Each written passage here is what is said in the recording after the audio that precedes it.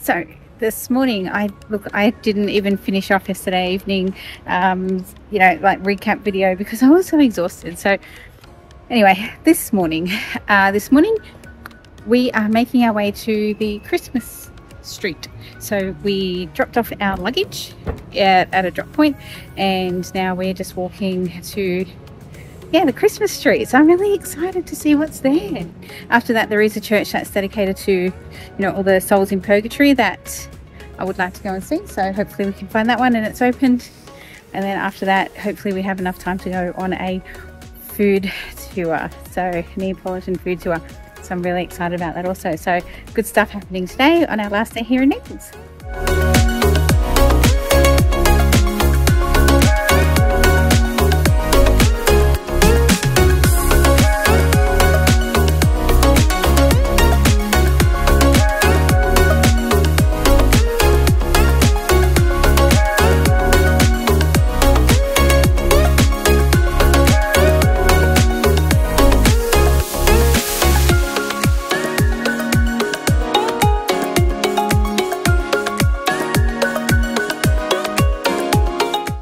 So I've just uh, walked up and down the Christmas street and some of the other side streets and stuff near it.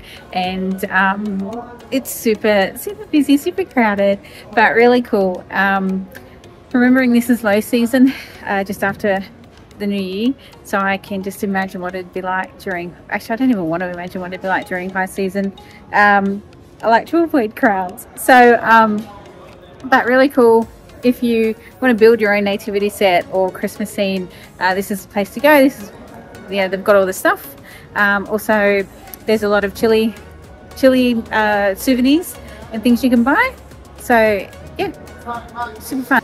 Okay, so the next place I'm going to is Santa Maria della Anima. Uh, it's it's a church dedicated to the uh, souls in purgatory. So it is built in the 17th century. Um, it is meant to be beautiful so I'm really looking forward to going in and having a look. And yeah I, am really enjoying this part of Naples. I think unfortunately I didn't uh, research enough into some of the background um, and I think there might have been some really interesting tours to come and see here uh, to see some other things here so that's okay. Uh, I was going to say there's always next time but there probably won't be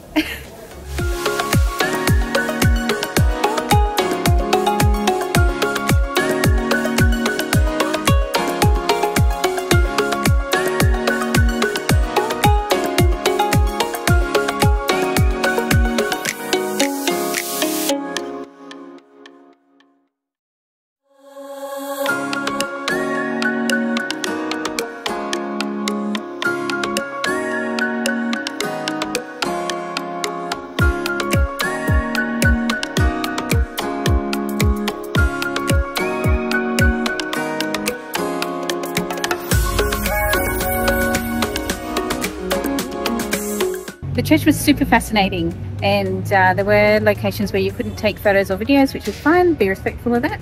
But it was yeah it was really uh, somber and sobering I guess you can say. So really loud here. It's so busy today in Naples. Um, I guess everyone's back and all the shops are open again after the holidays. So uh, we were meant to have our food tour at 12 and I checked my emails and they have postponed it until 2 so in the meantime, um, we're just switching things around and we are going to go and check out uh, Castle Nuovo, Nuovo, Nuovo um, first and then we'll go on the food tour. So I'm really excited for the food tour. Um, and I'm also pretty excited to actually but we are on a bit of a time limit because we did take our time wandering down looking in shops and just you know just generally soaking up the atmosphere so it's been great um, but yeah off to the castle before the food tour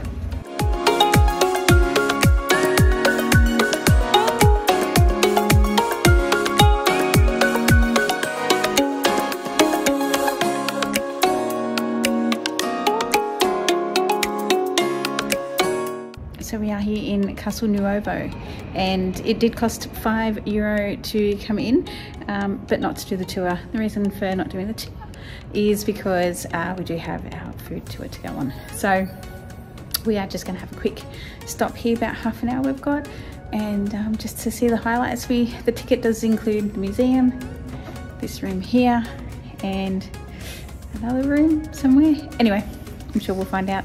Um, but yeah, it'll be a speedy trip through here, but I'm sure it'll be beautiful and worth it anyway.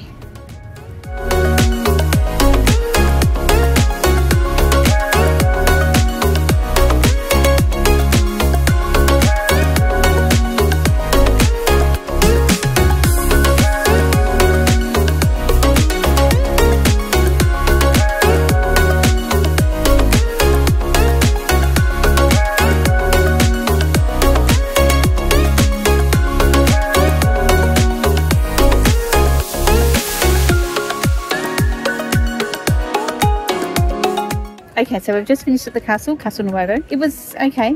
Um, we didn't go up into the museum part, and because we've got to go, we did see some of the paintings and we saw some of the rooms, um, but there there wasn't a, great deal to see. So, which is okay. Um, that's fine.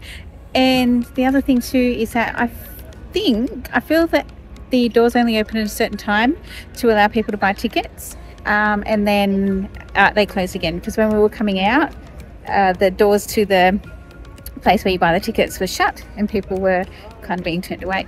Um, so I think yeah, it's I don't know if it's to to regulate the number of visitors that go through or if it's something else. Um, so just you might want to check the times. You, you, I don't think you can just rock up here and, and get a ticket and go in.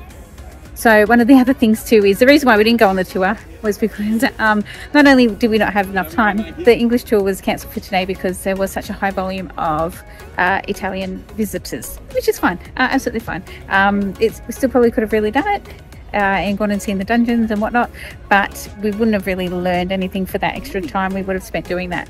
So um, yeah, we're going to head up now back to into the busy part of the city and go get some food. I'm so excited for this street tour. Like, going to be. I, I feel. I, I, hope, I, hope, I'm not hyping it up too much, but I feel like it's going to be uh, one of the uh, really fun things that I look back and really um, enjoyed doing on this trip.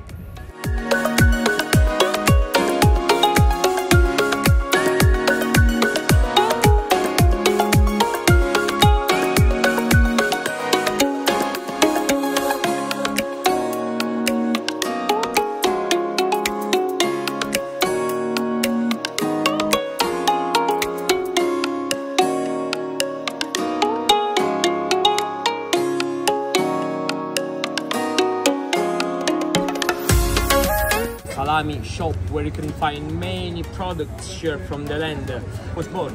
Because as you as you know probably know there are different types of pizza in this city no? On our food tour and um, this wasn't part of the tour but we were stopped at a pizza place and this is fried pizza and it's got ricotta in it. And it is amazing. Simply delicious and I just yeah oh my goodness it's I, can't even begin to describe the the texture and the flavour. It's so good.